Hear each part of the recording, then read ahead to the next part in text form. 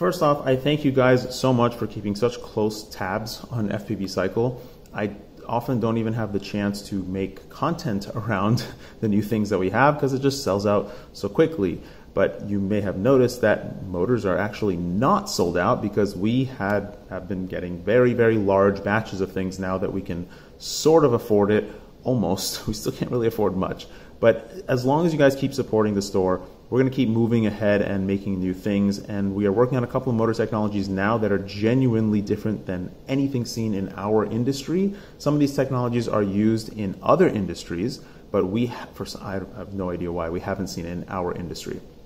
Also, I want to point out that ReelSteady Go is having a cinematic video competition and the prize pool is really, really nice. And FPV Cycle will be donating an additionally nice prize pool to the pot as well. And I only point that out now because I'm very late in. I was supposed to make a video on this a couple days ago. I just have been so backed up, so so backed up. So I mention it now because the competition has already started, and uh, I want you guys to have a maximum amount of time. But I am going to be making a dedicated video about that competition a little bit later.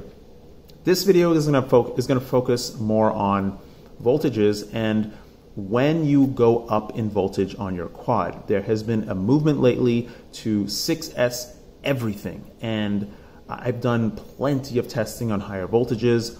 I don't recommend 6S on everything, and I, it's I'm making this video because I I get an unusually high number of of uh, questions and, and direct messages about how to run 6S on a Cinewhoop or a 2 inch or a 2.5 inch or sometimes manufacturers will say, oh, look how awesome this 6S toothpick quad is.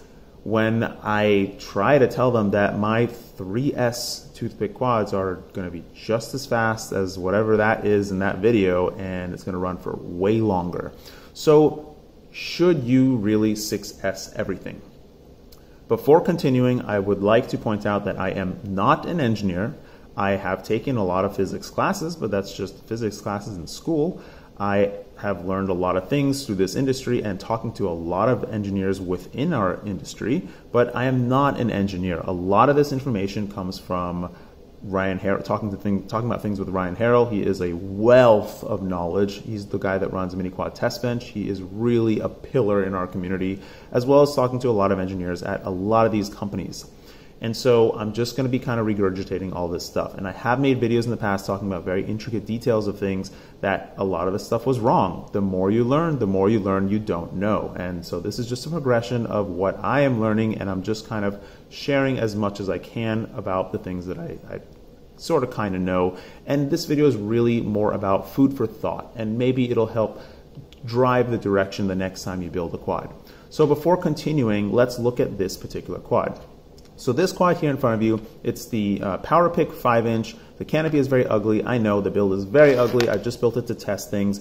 This is the, again, 5 inch version. It has the new drivetrain on it that we have at FPV Cycle. It's got the, um, the very cheap $37 uh, 30 amp 4 4S uh, toothpick board in there with the 2203 3450 kV motors. And before continuing, I'd like to point out that this frame, which is coming very soon, it's the 4Ride in 5 inch, is running the exact exactly the same drivetrain, exactly the same drivetrain with the same exact motors and the 5 inch 5125 uh, props from Gemfan, and it flies beautifully on 4S with zero, zero issues. It's totally default, totally stock on the same exact Betaflight 4.1.5 firmware. So let's take a look at this and see what happens when we plug it in on 4S and power it up and see what it does. So turn on all the controller and everything. and so you might think that 3450 kV is a little bit high for 5 inch, and it is, but I don't have any props in here. So let's uh, forget about that because I've proven already with the quad on the right that this works great. let's see what happens. So this is 4S. Here's the controller. I'm, I'm just going to arm it and throttle up a little bit. Armed, throttling up a little bit. Okay, so you don't want to let it do that for too long, but you could hear the jittering. Let's try it again. Okay, you, you definitely don't want to let it do that for too long because the motors are now very, very hot because it is just grinding the motors. And immediately, pretty much everybody will think this is something to do with the filters. Yeah, I think the same thing, except for the fact that this is Betaflight 4.1.5, and I have jacked the filters up to max. That slider, that filter slider, it's all the way up. It's all the way to the left. Maximum filtration. filtration. Let's see what happens when I take the same exact quad and run it on 3S. So this is now 3S, and this is totally default tune. PIDs are totally default, but that really doesn't have any issue, any um, effect on the oscillations that you were seeing. But again, same thing. You're gonna arm. You can hear the P's are a little high, but there is drastically reduced functional problems with the quad. So why is that? Well, I'm actually not going to explain why is that at all in this particular video because that's not the point of this. But what I wanted to show here is just the difference between 4S and 3S on this quad and how higher voltages can potentially cause a lot of really frustrating issues. And they're not impossible to solve, but they do take a lot of time to figure out and solve. In this case, if I had black box on this quad, I could probably just tune the filters and it'll be totally cool. But instead of, but I don't have black box. So instead of doing that, I'm just gonna just jump around the different uh, firmware versions, particularly go down to 3.5.7, see if that works. If, doesn't, that, that doesn't work, jump to EmuFlight, and try, then if that doesn't work, then I'll just try using the tools at my disposal to get the quad to fly the way I want it to. All these firmwares fly great. I'm not even going to talk about the different firmwares right now, but that's my way of tuning things because, uh, well, I don't have black box on this quad, first of all, and second of all, because it works. it works, and I can pretty much get all the different firmwares to fly uh, to my liking. I spend more time kind of getting the quad to be the setup that I want and the way I want it to be, rather than getting this perfect tune in the code because all of them can fly well and I can fly, I can tune all of them, but I choose not to work so hard. So that's just one reason why you may not want to jump to 6S immediately because you can run into a heap of issues which are many more issues than what I presented here. But let's just put that aside and look at this chart here that I've written. So if you take a look at this chart, I've got my batteries and KV numbers on here. So back when we first started flying these things, we were on 3S. And uh, first, when we first started doing FPV, like for when I first started, things were on 3S. Then we moved to 4S. And the 1300 milliamp 4S battery became the default. And then we moved to 1500 milliamp 4S batteries because our quads got a little bit heavier, got a little bit more powerful, and so we needed a little bit more battery. And some people started running 1600, 1650 milliamps. I think uh, Thunder Power had a 1900 milliamp battery that was almost the same weight as a 1500 milliamp 4S battery, and we just kept trying to go up a little bit just to get a little bit more capacity, get a little bit more current out of the battery, and that's kind of where we, we ended and gave up. When we started running 6S, we immediately started running a minimum of a thousand, really 1100, and then the racers started running 1300 milliamp 6S batteries. If you compare the capacities of these batteries, a 1300 milliamp 4S battery con- converts the same watt hours to an 866 milliamp 6S battery. There, there isn't a person out there that would even care to run 866 milliamp 6S batteries on any 5 inch quad. It just doesn't make any sense. Even though I have a 550 milliamp 6S and I do actually use it here and there, it doesn't make sense to have made a battery like that. And by the end of this, I hope you will understand why. So 1500 milliamp becomes a 1000 milliamp 6S battery. And so this Pulse 1050 has been my preferred battery for a long time on my 5 inch Acro quads because it's a really nice lightweight and it dishes out the amps really nicely, and it's a really nice happy medium, and it's really comparable to the 4S 1500 milliamp that I used to run. And so now my current favorite battery, or my current preferred battery, is the 1100 milliamp 6S battery. And that works out to a 600, 1600, 1650 milliamp 4S battery. So I have actually gone up in my overall watt hour capacity, not capacity, just overall power, power amount of power in the battery because my quads are now heavier and I've got a GoPro Hero 8 on there, lots of TPU, well not lots, just a big TPU casing for the Hero 8 and all that jazz, and I, and I just need more power on the quad to be able to give me the, the current that I want and the, the, the voltage and flight time that I need to be able to do what I do. Now, racers running 1300 milliamp 6S batteries, well, I hope by the end of this it makes more sense why that just sounds crazy to me, and I know why they're doing it, and they're not wrong for doing. I mean, there's just no there's no right or wrong, but I don't I wouldn't say don't do it. It's just crazy that they need to do it for the setups that they're running. But now let's flip it over and take a look at the kV numbers. So when we first started running these things, 2300 kV was kind of the default on 4S. And then we slowly kind of creeped up higher and higher. We went up to like 26, 2700, and we kind of settled at this happy medium around 2500, 2550 kV on 4S is really kind of the default to where people like. You know, there's a wide range of what people prefer, but if if there was one kV I would choose on 4S, it would be 2500 kV. When you convert 2500 kV to 6S, that's 1666 kV. And I've tested 16666 kV on 6S and it's it's awful. It's, it's just the is it feels like it's stuck in second gear. It's terrible. It's usable and you you might want to try putting a heavy prop on there and get more thrust or more whatever out of it, but it's not the same as 2500 on 4S. That's very clear to anybody that tests these two side by side. You can definitely tell a difference. And you can definitely tell that the 6S quad is not going to be as fast as the 4S if all things are equal. Not like a 6S Racer on 1666 versus an Acro quad on 4S 2500. The exact same quad with the exact same motors, just rewound to a different KV on 6S with this KV is not going to perform quite as well as the 4S version.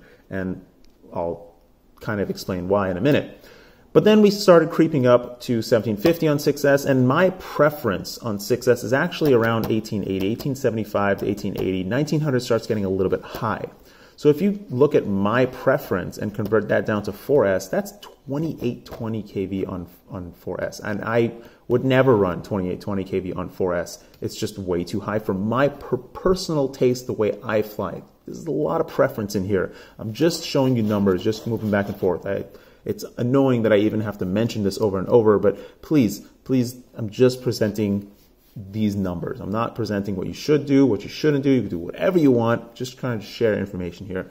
And so let's take a look at how an electromagnet works and then look at these numbers again and see what we think about why we're running these weird 6S capacities and these weird 6S KVs and why they're different and why they don't just convert directly.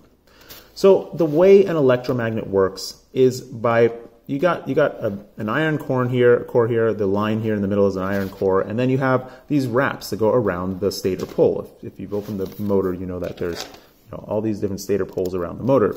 And so what happens is this is connected to a battery or some sort of power source, and electrons will flow through these coils. And this is might be a little bit complicated if you don't already know it, but a moving electron creates a magnetic field. And it doesn't create it in the direction that it's moving, it kind of creates in a circular pattern around the wire. So I'm, I'm not going to explain that, I'm just going to assume that you know that already. But what happens here is that the, the electrons go around in circles and circles, and they all come together and create a magnetic field going through the coil on in either which direction, and that's how the magnetic field gets generated. And then that pushes and pulls against the magnets on the on the motor bell, and then it spins the motor around and around. So if you take a look at this electromagnet, because that's all it is, it's an electromagnet. The iron core also, it uh, I'll talk about that later. But this electromagnet, the way that you get a magnetic field is by moving electrons. Like that's just that's the default way to get a magnetic field in an electromagnet. It's not by increasing voltage, it's by moving electrons. And so the way to get the maximum uh, magnetic field from this electromagnet is to have infinite current at zero volts, which would mean that your wines or whatever the, the conductive medium that's wrapping this, this stator or this pole or this, this core has perfect conductance. It's a superconductor, and uh, there is no heat loss. There's nothing. It's just maximum current, maximum electrons flowing through this thing. So that right there is really all you need to explain a lot of this other stuff, except for a little bit of a tidbit at the end. So by moving up in voltage and reducing the kV of the motor, what we're doing is that we're taking a system that is running on lots of current, dropping that current way down and jacking up the voltage. I had to pause real quick to do some quick math here. So we just finished saying how current is what generates magnetic field. And so let's look at current at 4S, which let's say a system that has 100 amps at 4S, and then let's convert it to 6S. That same system, same wattage overall power throughput at 6S is going to be 66 amps.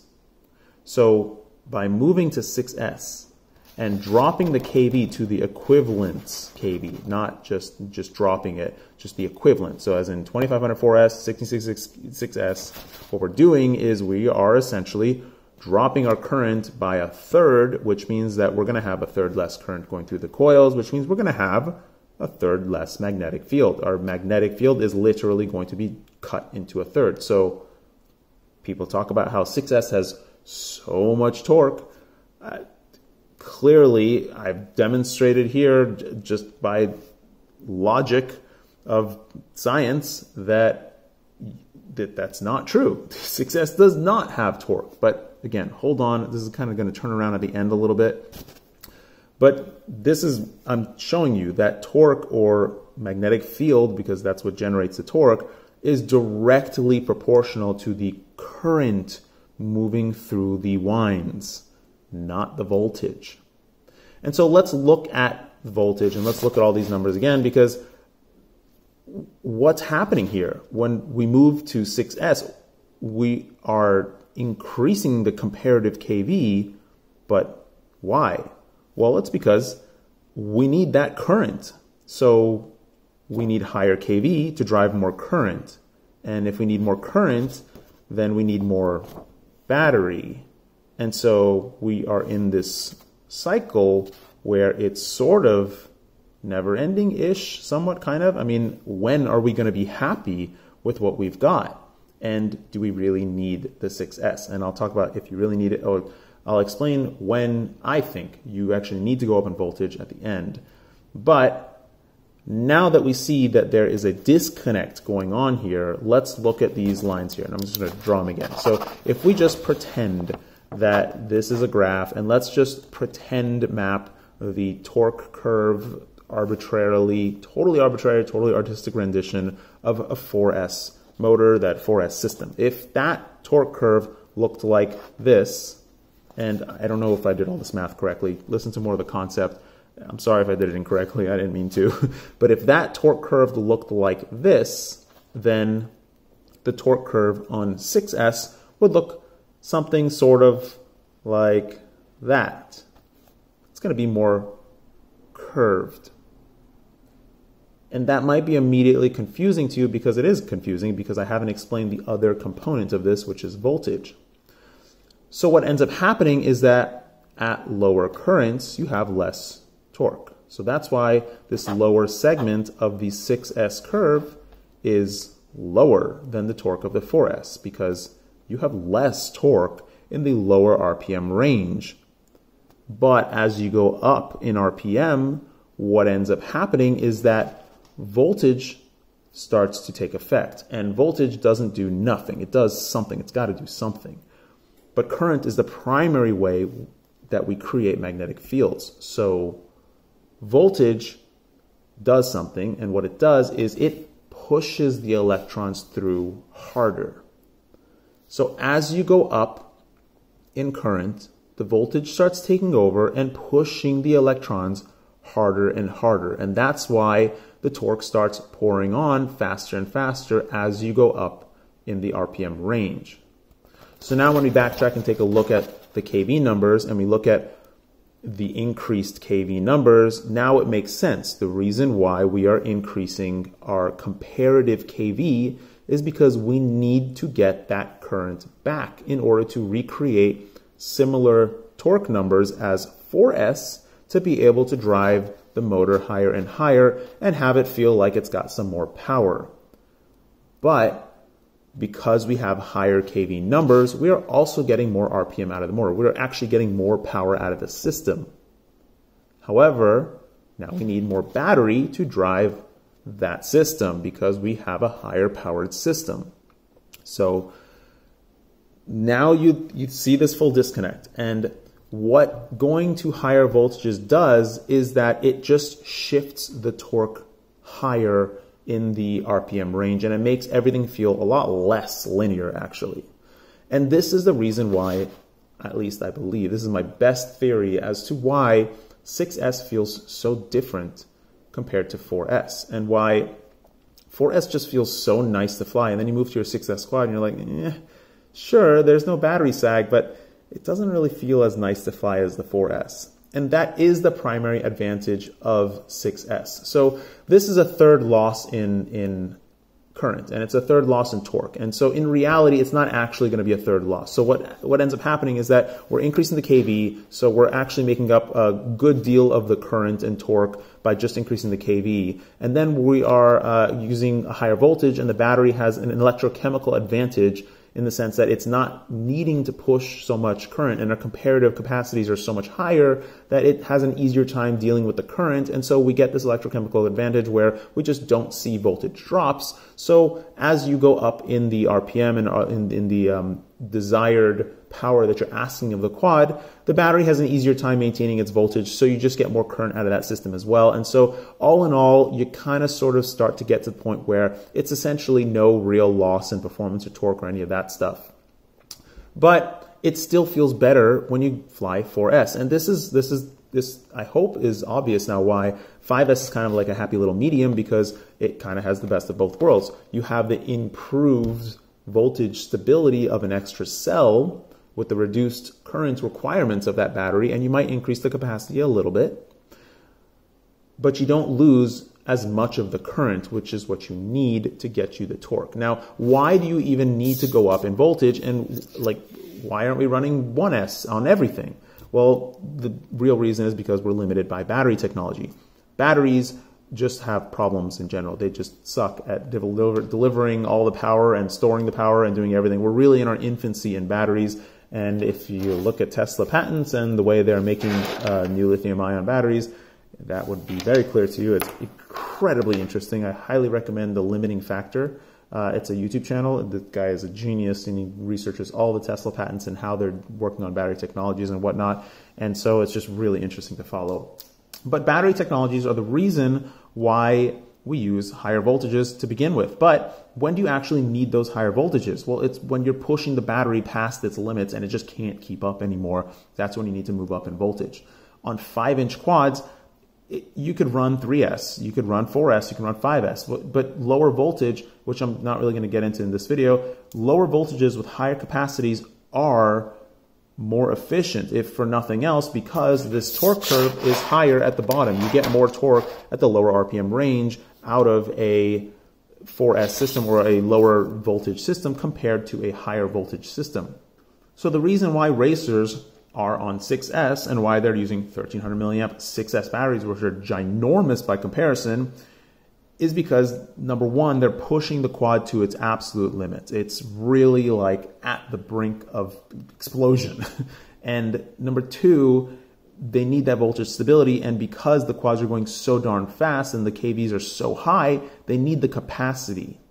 And so I've been testing racing quads again lately, and uh, my preference is actually to reduce the battery size, reduce the voltage a little bit, and uh, tone it back reduce the weight of the quad and bring it in balance. And what's special about the toothpick and like things like this and these super light class things is that they're just very well balanced for their power output. They, they can deliver the performance that you want consistently. The toothpick, the 3S toothpick, is very light. It's got a relatively large capacity battery and it can deliver full throttle performance for a minute. And that's just because it has such a huge battery compared to what you're kind of asking the quad to do. So I'm not going to go too much further, but one comparison in real world, which again, Tesla, because it's a great example of everything they're doing. The Tesla Roadster that's coming out is supposed to have like a 600 or 700 mile range. I suspect that's because they need all that battery to be able to provide the sustained performance that they want out of the car. So it's got insane numbers and an insane range for the same reason that the toothpick, the TP3, flies for like eight minutes if you want it to, or you could just get a lot of performance out of it for four minutes because it just needs that battery to be able to bring the power draw requirements into line so that the battery isn't being too stressed and causing electrochemical challenges inside the battery and reducing your overall flight time and performance and everything altogether and heating everything up and causing just issues altogether. So hopefully this was really actually good food for thought. Take care, floss your teeth. Uh, there's a couple videos coming. They're, they're going to get really interesting. Bye.